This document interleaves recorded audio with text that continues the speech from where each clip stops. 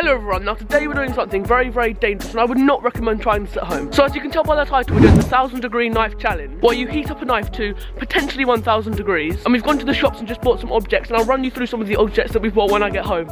You're fucking weird. So if you didn't know already, I'm with my friend, uh, uh, my friend. Do I call you my friend? Are you JupesTom? Fuck off. Alright, so we've arrived downstairs. I'm sorry if the colour grade's a bit odd. It's because of the white balance on the camera and all that shit. So first up we have the watermelon. We're going to be um, sticking a knife through the watermelon. We've already started to heat the knife. Um, I'll show you it now actually. So as you can see here, it's already starting to go red hot and white hot at the end if you put the tip on it and stuff like that. Right, so you've got the watermelon ready there. Oh my god, you look so red. Look. Ready to what? Stick it in. I got. Oh. Oh my god. Oh my god. All the way through. it's hot. It smells like popcorn. Oh, it does. Oh, that stinks. That went through like butter. I didn't even have to push. That stinks. Oh, it's horrible. It really smells bad. Go on, all the way. It's still hot. It's still really hot. oh fuck.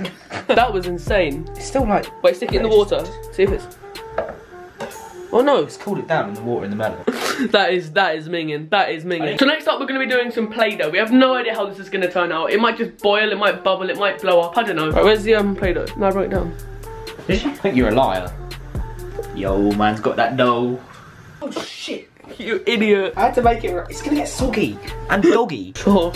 That's finally starting to go red after all this time. So I've just um I've just changed the colour grade. So sorry if it's gone from red to this. Alright. sorry if it's gone from really red to really white. I, I don't know what it's going to look like until I edit it and colour grade it and all that stuff. I'm sorry if the first part of the video was really dark. It's just all the settings up on camera. Anyway, so next we're going to be doing the Play-Doh.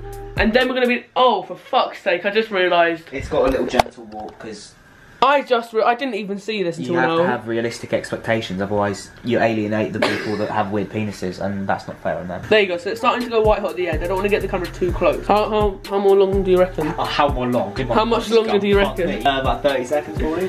Like. I ain't no fucking scientist.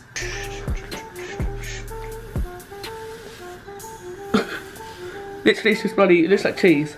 You like cheese. Oh my god, it's smoking so much. Wow, maybe you should quit. You know it gives you cancer. It doesn't smell nice. You don't like waffles, though.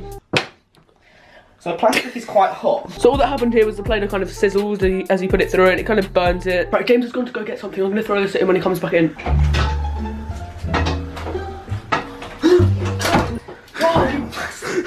Going to be doing a bouncy ball because why not? I think it's going to, oh, it's going to stink because it's plastic. Right, this, so this is the bouncy ball we're oh, doing. he's going. Oh, he's going. It's ready. Are you ready? You ready? You ready? You ready? You ready? You ready? You ready? You ready? You ready? You fuck. Tom, come on. I'm gonna burn my hand. let's let's cut this motherfucker in half. Oh, oh. Yo. It's like, Oh, it smells worse than I thought. It smells like a single barbecue. it smells like fish. Go in watermelon. So, great success.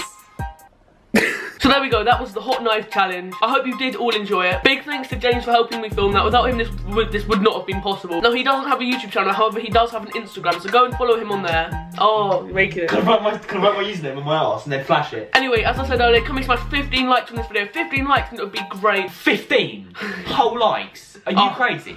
Oh, a little bit. And if you're new around here, do be sure to subscribe to never miss another video. Anyway, I do hope you've all enjoyed this video. If you did enjoy it, smack the like button down below, subscribe to never miss another video, and I hope to see you in another video. See you later, guys.